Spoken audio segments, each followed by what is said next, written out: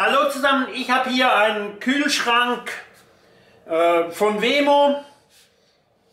12 Volt, 24 Volt, aber heute geht es nicht um diesen Kühlschrank, sondern um die Vorrangschaltung auf 230 Volt. Wenn wir den Kühlschrank drehen, sehen wir hier den Kompressor und eine Steuerung, Setup, also normaler Standard und wir haben hier einen 212 24 Volt Anschluss. Wenn wir, wenn ihr bei uns die Option A bestellt, kommt diese Steuerung weg und anstelle dieser Steuerung hier montieren wir diese Steuerung. Das ist eine andere Nummer, das ist für 510 und die hatten 230 Volt Eingang also 110 bis 240 Volt. Und unten dann der 12 Volt Eingang, das heißt, ihr habt hier hinten ein 12 Volt Anschluss und 230 Volt Anschluss. Wenn beide eingesteckt werden, läuft das Ganze auf 230 Volt und das 12 Volt wird abgetrennt. Das ist, wenn ihr bei uns ein Gerät bestellt. Wenn ihr jetzt aber schon so ein Gerät habt, und das nachträglich nachrüsten möchtet, kommt die Möglichkeit zum Einsatz. Das ist ein Netzgerät. Hier gibt es noch eine DIN-Schiene dazu zum Befestigen. Dann kann man es hier einklicken oder es wird ihr mit ein bisschen Montagekleber draufgeklebt. Ich habe hier den Input für 230 Volt. Das heißt, hier schließe ich Erde, Nullleiter und Phase an. Und hier unten habe ich den Output, also den Ausgang, 12 Volt. Hier kommt dann zum Beispiel außen der Kühlschrank dran und Input kommt die Batterie dran. Das heißt, auch hier haben wir dann die gleiche Funktion wie bei dieser Steuerung wie vorher erwähnt. Einfach, dass hier drin ein Netzgerät ist, was runter transformiert auf 12 Volt und der Kühlschrank wird dann mit 12 Volt gespiesen, mit dem Rölle drin für die Vorrangschaltung.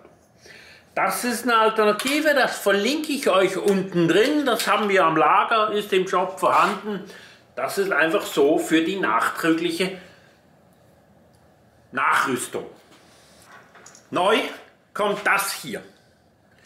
Das ist ein Prototyp, das ist zu klein, das wird so wahrscheinlich nicht kommen, weil hier drin ist es relativ eng, das zu verbauen. Wir haben hier zwei Schrauben, dann kann man das Teil hier hinten anschrauben oder sonst irgendwie. Ich muss diese Kabel wegziehen. Hier habe ich eine Sicherung drin, dass die nicht weggehen. Dann hänge ich hier das Minus und das Plus an vom Kühlschrank. Hier habe ich dann das, 200, das 12 Volt, was auf die Zuleitung kommt, zum Beispiel auf die Batterie. Jetzt habe ich hier eine Batterie gebracht, also Minus auf die Batterie Minus, das rote auf das rote Plus und das läuft hier rein. Ich kann das Kästchen liegen lassen oder auch schön anschrauben. Für das hat es hier zwei Befestigungslöcher. Da kann ich mit dem Ampermeter hier den Strom messen. Wir sehen, dass hier 3,7 Ampere fließen. Wenn ich diese Messung hier mache,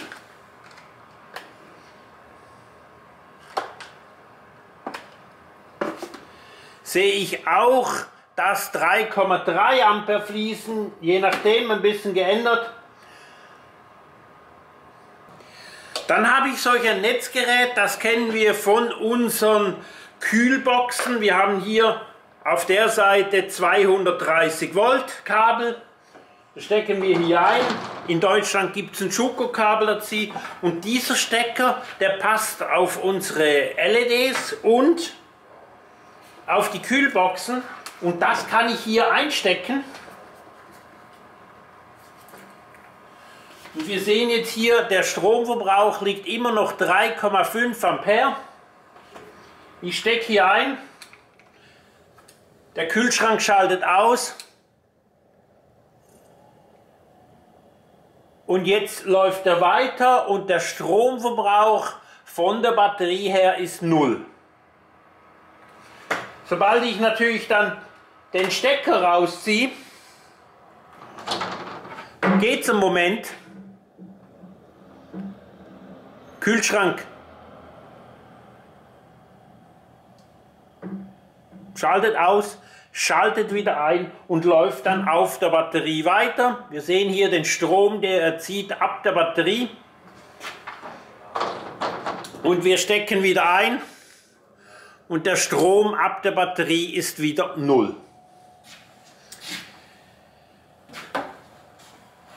Dieses Teil hier in Verbindung mit diesem Netzgerät ist eine Idee, was wir auf den Markt bringen können, weil diese Industrienetzteile sind relativ aufwendig, sind auch relativ teuer. Da sagen die Leute immer, was willst du, ist da Gold dran? Das ist ein Industrienetzteil. Oder reicht solch ein Netzteil aus China mit solch einer Umschaltbox, die wir hier hinten irgendwo anschrauben können und so habe ich eine Vorrangschaltung auf 230 Volt. Das Teil gibt es noch nicht. Das wird kommen. Sehr wahrscheinlich und dieses Netzteil hier ablösen. Wir sind am Gestalten, was ist, dass das Gehäuse wahrscheinlich ein Stück größer wird, weil der Inhalt hier ist relativ eng. Das wissen wir nicht, wie das jetzt momentan läuft. Wir werden die ersten Tests fahren. Ihr könnt unten in die Kommentare abgeben, was ihr von dem Zwischenteil hier hält. Es ist wirklich nur ein Kunststoffgehäuse mit dem Stecker hier und die ganze Umschalterei für den nachträglichen Einbau, wenn ihr 230 Volt möchtet. Hier bringe ich euch einen Link über diesen Kühlschrank, der ist der Kühlschrank beschrieben, und hier ein Link über dieses LED-Netzgerät, warum das LED heißt, löst ein Desaster, bringe ich euch den Link hier unten. Bringt mir die Kommentare, was ihr von dem Teil hält. Hängt auch davon ab, was ihr mir schreibt dazu. Vielleicht gibt, habt ihr einen Verbesserungsvorschlag oder was würdet ihr anders machen. Und somit wünsche ich euch einen schönen Tag.